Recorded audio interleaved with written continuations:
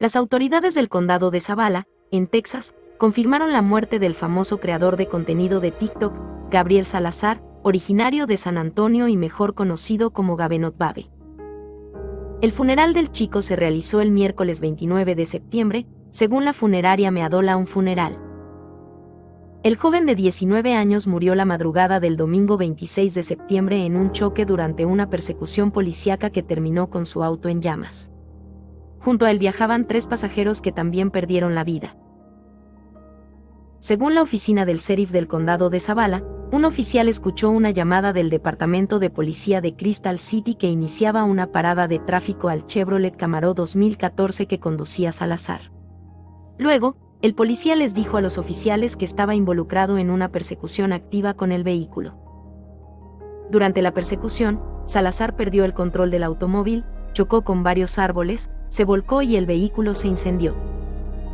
El TikToker y los otros tres pasajeros, que eran inmigrantes indocumentados, fueron declarados muertos en el lugar.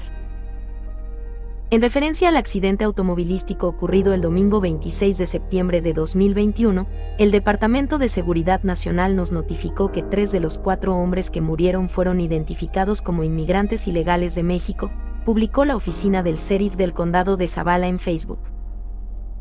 Los pasajeros fueron identificados como José Luis Jiménez Mora, de 41 años, José Molina Lara, de 23 años, y Sergio Espinosa Flores, de 36 años. Todos eran originarios del estado de Zacatecas, según confirmó a Univisión 41 Ismael Nevelle Macías, cónsul de México en Eagle Paz. El cónsul confirmó que eran inmigrantes indocumentados y recalcó que esto es una muestra más de los riesgos a que se enfrentan quienes cruzan de manera irregular. Aunque la investigación del incidente aún no termina, el hecho de que el joven hubiera estado transportando indocumentados en su vehículo hace sospechar a las autoridades que este podría ser un caso más de tráfico de personas que terminó en tragedia.